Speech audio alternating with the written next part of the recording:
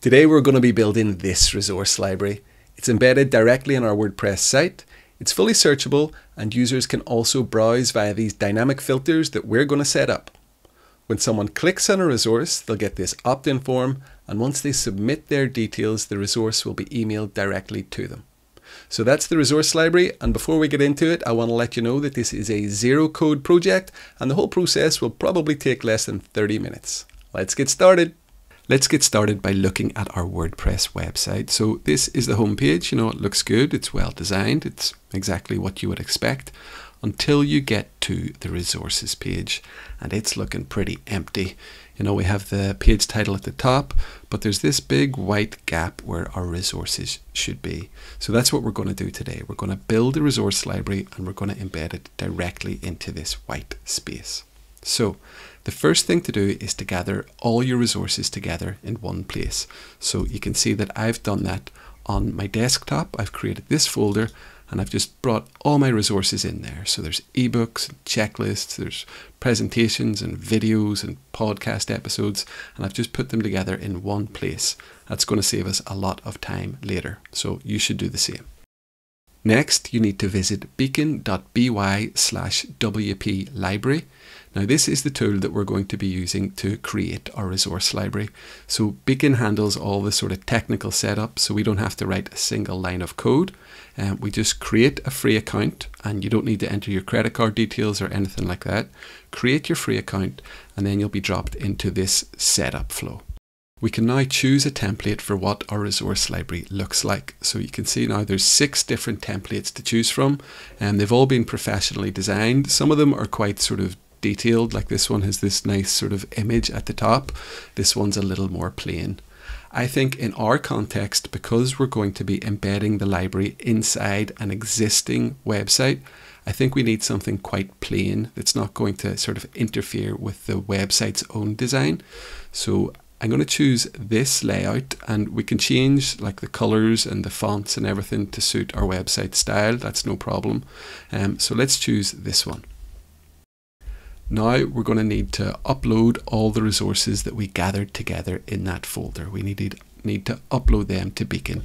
So let's just click this yellow button to choose the files. And you can see now that we just sort of select any files that we want to upload. I'm going to get this MP3, that MP4, don't need those images. Okay, so I've selected the files, I'm going to click open. Now Beacon uploads all these files and you can see now down here we've got six resources selected. So let's hit continue. We now need to give a title to our library. So let's just keep this simple. Resource library and click the yellow button.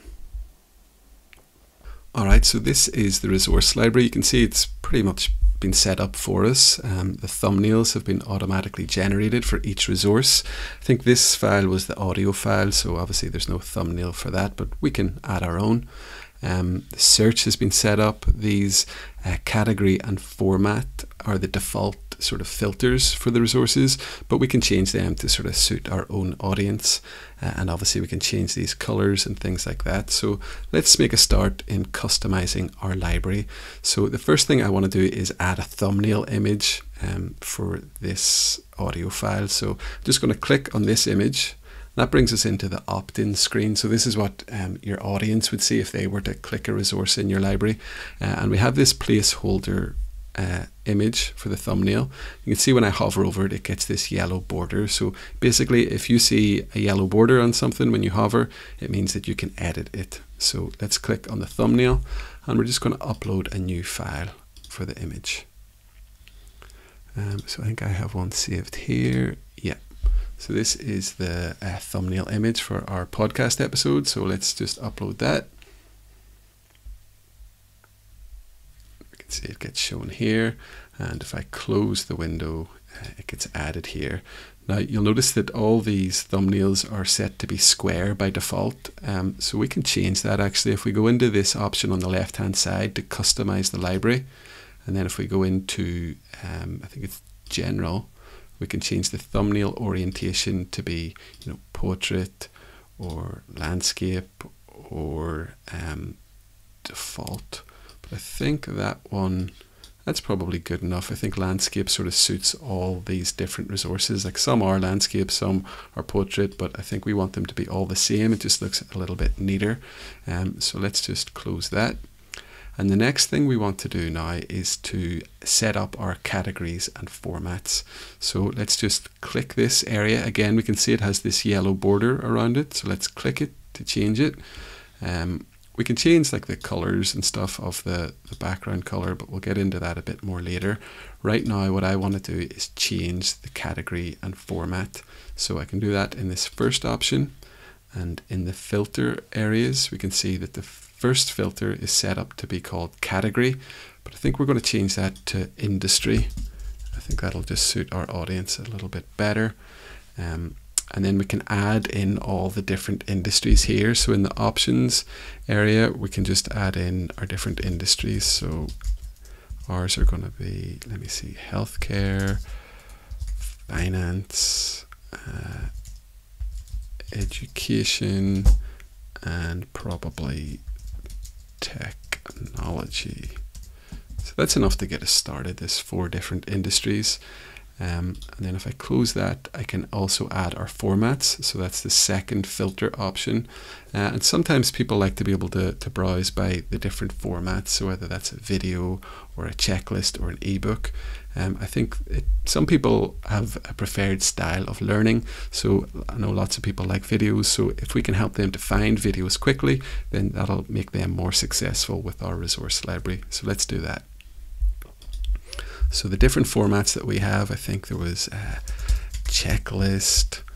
I think we had an ebook. We definitely have video and podcast. So I think these are four is enough to get us started. So that's our categories and our sorry our industry and our format set up. So now we need to go in and sort of assign each resource to an industry and a format. So we can do that by going over to this menu on the left hand side and we're going to choose the manage resources option. So this is where we can add a bit more detail to each of our resources. So if I click in uh, to the pencil icon for any one of these resources, I can see that we can edit the title, you know, we can add a description uh, and here on the right hand side we can assign our uh, industry and format for this specific resource. So just open the drop down menu and put um, check whichever industry um, you think this applies to this resource and you can choose multiple um, but I think for our purposes we just need to choose one and we're going to give this a format as well. So this is an ebook. And once you do that just click update. So if I close this screen, we can see that our library is shaping up pretty nicely, but it's at this stage that I like to take the library and embed it in our WordPress site. It just helps to give me a sense of uh, how the library is looking in place, so I know what else needs to be customized. So let's do that. Let's go up to the Publish button. We're going to click this switch to publish our library, and then we're going to go to Embed Options, and we're going to copy this inline script Next, I'm going to jump back to my WordPress site. And just to remind you, this is the page where we'll be embedding the library in this white area. So let's go into our WordPress dashboard, go to pages. Uh, we have our resource library page here. If we edit this, and it's really easy to do, all we need to do is to add a block. And the block is going to be custom HTML. And if we paste our HTML in here and then click update. That's all you got to do. So if we switch back to our site and hit refresh,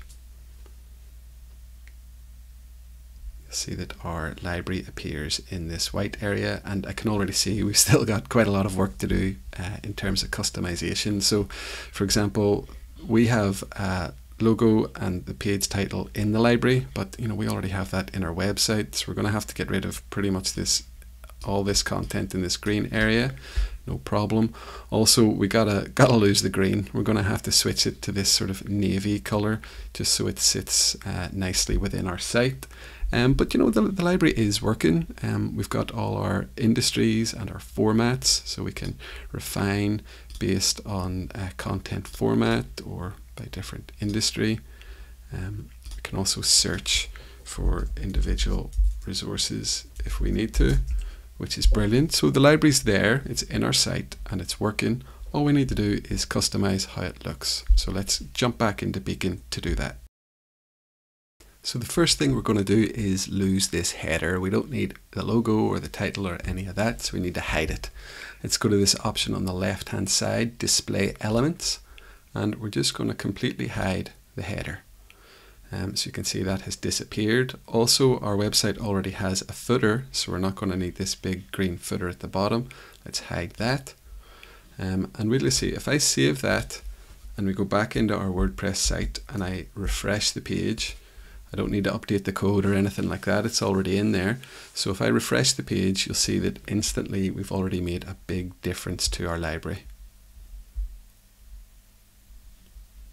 Brilliant. So um, still need to change the green to blue. Uh, and you can see that there's this sort of light bluey grey in the background of the resource library page. I'm just going to change that to white. And that's pretty much the visual customizations for our library finished. So again, back into Beacon. I'm going to choose the customize library element from the left hand side. Uh, and first of all, let's change the page background. Instead of this grey blue, let's just have it as white. And then let's click on these green buttons because we want to change them to blue. Click on that. We'll click this design button and we're changing the filters and the background color. We're just going to put in our own brand color. Which is great. So we can see that's already been updated here. Perfect. And the last bit of green is these resource titles. So again, we're going to go to the customize library option on the left hand side. We're going to choose the grid section here and we're going to change the resource title from green to blue.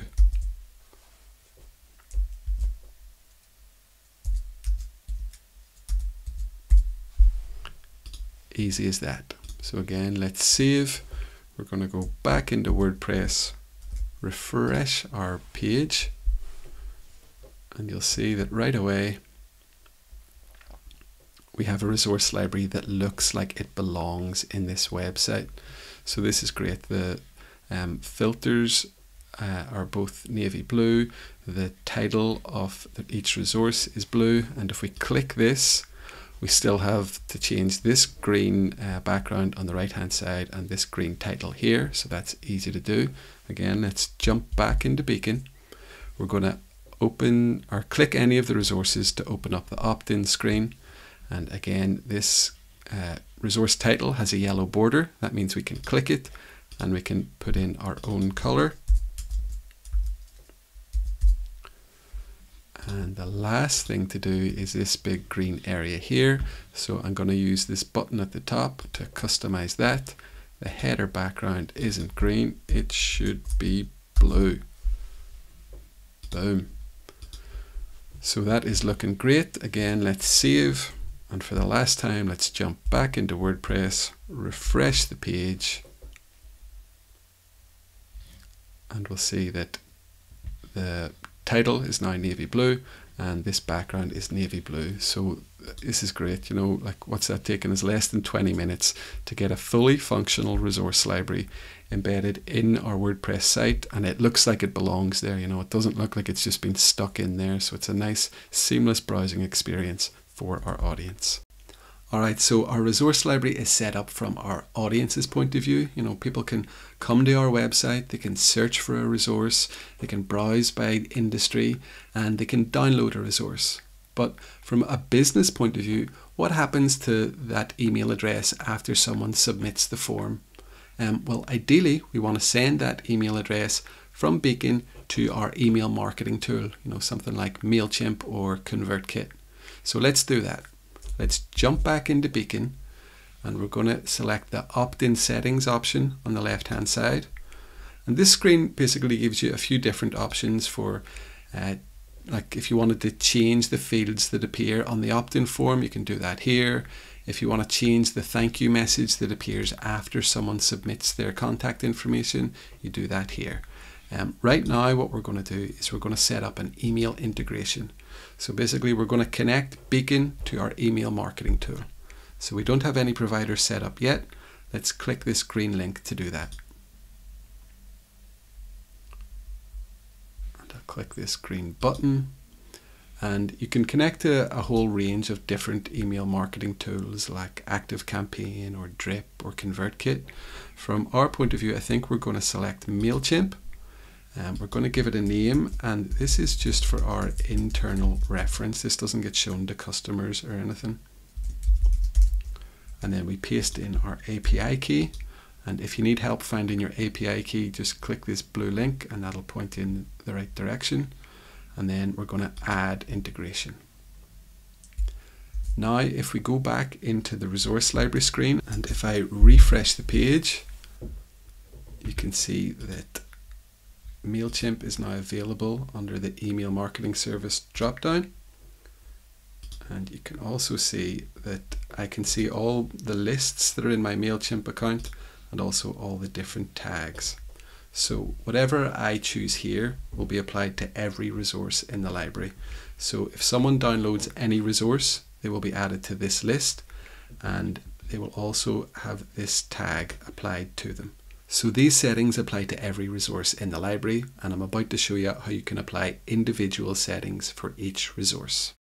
All you have to do is close this screen, then go into the Manage Resources option on the left hand side and you can edit each individual resource. So let's start with this one. Um, and in this section here, we can choose to either use the default opt-in settings, which is what we've just set up, or use custom integration settings. So basically, we want people who download this resource to get a specific tag applied to them in MailChimp so that we can nurture that lead accordingly. So let's use custom integration settings. Our provider is going to be MailChimp again. And then for the tag, we're going to select finance. So basically this resource is all about finance. So whenever someone downloads this resource, we're going to give that contact the tag of finance in MailChimp. And that means that we can follow up with emails that are only related to finance. We're not going to be sending them information that's irrelevant. Once we do that, we just click update and you just continue that same process for all the other resources and boom before you know it your library will be completely segmented so that you can nurture leads depending on the resource that they downloaded. If you've been following along then congratulations! You now have your very own high quality resource library that sits directly inside your WordPress site so it offers a seamless browsing experience to your audience, but most importantly, it puts you in the position to generate more leads for your business. And on top of that, you've got a better chance of converting these leads into customers because we segmented our audience based on the resource that they downloaded. And that means that we can follow up with a personalized email campaign directly for that person. So I hope you've enjoyed this, but if you need any more detail, just go to beacon.by forward slash WP library. Thanks now.